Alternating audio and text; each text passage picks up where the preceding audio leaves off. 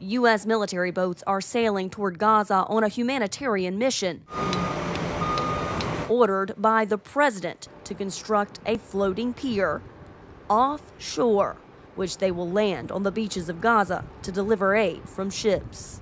Once constructed and it's fully mission capable, we're able to, we'll be able to push about 2 million meals a day uh, onto the shore for, for relief. But experts say the process is time consuming and costly. The joint logistics over the shore is a band aid. Really, the best way to deliver aid is to bring in trucks. But trucks and distribution centers have come under fire, leaving Palestinian citizens starving.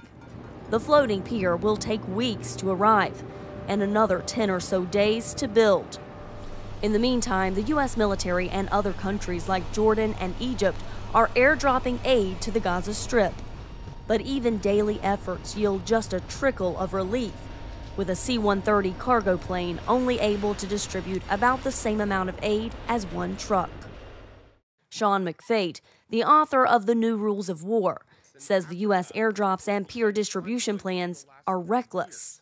You don't know if the aid is going to the right people because you have no direct physical control over it. And we know Hamas steals from the people.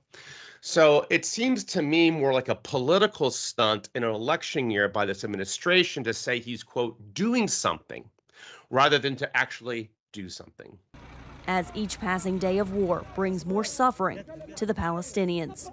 Carla Babb, VOA News, the Pentagon.